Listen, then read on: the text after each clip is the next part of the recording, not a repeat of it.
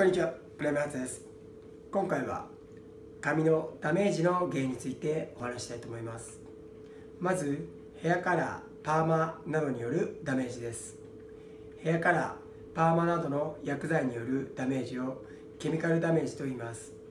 アルカリ剤やパーマ剤などの還元剤などの成分によりキューティクルが剥がれ毛髪内部の間充物質などが流出してしまうのが主なダメージですこのダメージが進むとツヤがなくなり潤いがなくなります。この物物質は流出しやすく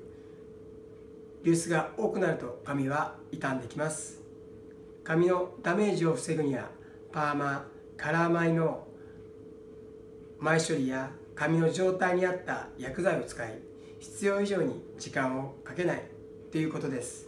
またカラーパーマの後のアルカリ剤をしっかりと取り除くということが大切になってきます。当店では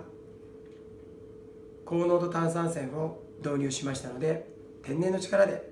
そういったアルカリ剤をしっかり取り除きパーマカラーの持ちを良くしたりいろいろな効能があります。ご興味を持った方はホームページをご覧ください。では。